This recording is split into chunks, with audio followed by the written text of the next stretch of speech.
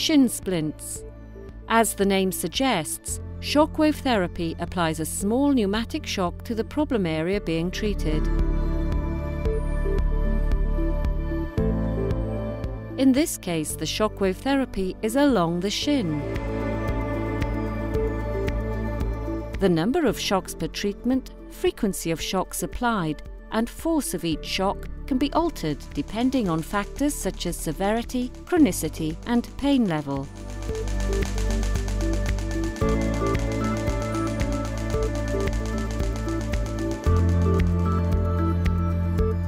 What is extracorporeal shockwave therapy? ESWT is a non-invasive procedure used for treatment of conditions that can occur in different areas of the body, such as a heel spur, plantar fasciitis, Achilles tendonitis, patellar tendonitis, trochanteric bursitis, low back pain, tennis elbow, wrist, hand and shoulder tendonitis, or bursitis, including scar tissue and calcification. What does extracorporeal shockwave therapy involve? ESWT is carried out during an appointment and requires no injections, medication, or surgery. It is normally offered after conservative treatments such as physiotherapy, sports, and massage therapy has failed to improve the symptoms. During an extracorporeal shockwave therapy session, high energy sound waves are created and focused on the injury site using a special pad. Shock waves are repeatedly applied to the injured area to break down any scar tissue and or calcifications in the area,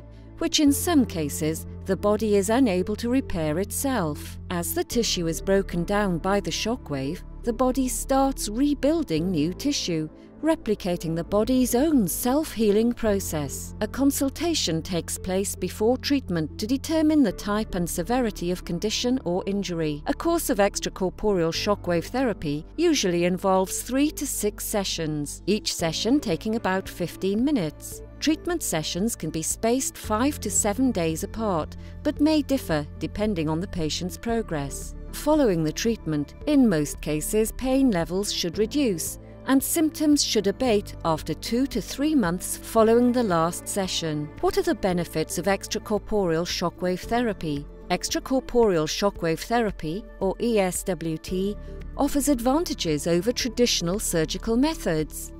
No anesthesia, non invasive, no medication, no surgery, fast treatment, fewer complications, virtually painless after treatment.